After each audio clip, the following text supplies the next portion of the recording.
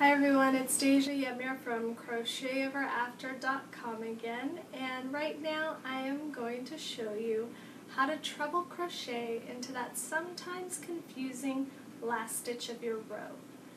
This can be a little bit tricky depending on if you're counting your turning chains. So if you're having trouble knowing where exactly to do your last stitch, this tutorial is going to cover just that. If you've never done treble crochet before, then check out my treble crochet for beginners tutorial and that's going to show you everything. But this will just do that last stitch. So let me show you how to do that.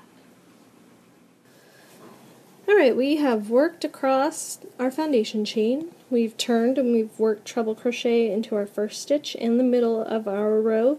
And now we are about to do the very last stitch, or stitches, depending on your pattern and what it's telling you. So normally we are counting our chain 4 or our turning chain as our very first stitch. When we do this, we have to work into it when we come to it at the end of our previous row. So instead of just having one stitch left, because that's kind of what this looks like, I see one V, so it looks like I only have one stitch left, I actually have two, because I need to work into this last treble and I need to work into this chain 4. So it's important to remember that so that you don't lose stitches. If you have a project that's going wavy on you, you're probably missing that turning chain stitch. Now, if your pattern says that these do not count as a stitch, you of course will have put a treble into this very first stitch and you'll have an extra treble at the very end. So you would in reality, if this was the very end of our project and the chain 4 didn't count, you would have just that one last stitch to work into. But we are, we are working as if the chain 4 counts as a stitch, so I'm going to do a treble into this last actual treble that we have here. So I yarn over and pull through three times to get that treble. And now we're going to work into our chain 4.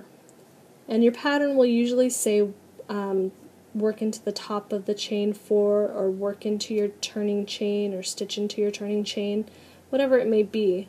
What it means if it says to the top of your turning chain or top of your chain 4, it's just telling you to work into that last V of your chain 4. So you have 1, 2, 3, and 4.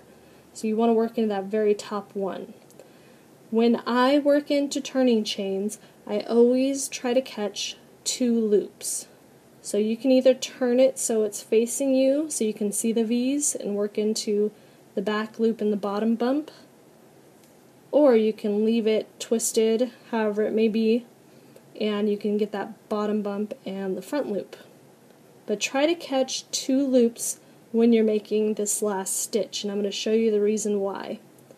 So I'm going to do the treble and as you can see when I finish that the hole that results from entering my hook is the same size as the rest on my row.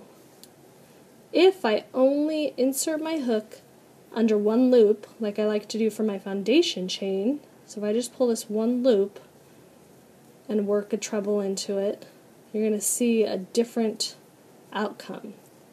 You'll see that it pulls up that loop really tall and you get a much larger hole as opposed to the rest of your row. It doesn't really, you know, change the project much. I just think it looks better with a smaller hole that goes in line with the rest of your row. So if you don't want that big gaping hole, just put it through both loops and finish your stitch off. So knowing whether that chain 4 counts as a stitch is incredibly important and remembering it throughout your project so you know whether you should be working into that stitch. And always check your stitch count if you're a beginner. So I should have 10 after this row. So I want to make sure I still have 10. So I have 1, 2, 3, 4, 5, 6, 7, 8, 9, 10. So I'm staying consistent, which means I'm going to have a straight project as I go. If you see a project starting to wave, count your stitches and find where you lost a stitch and go back to that row and put it back in. So that is how you treble into the last stitch of your row.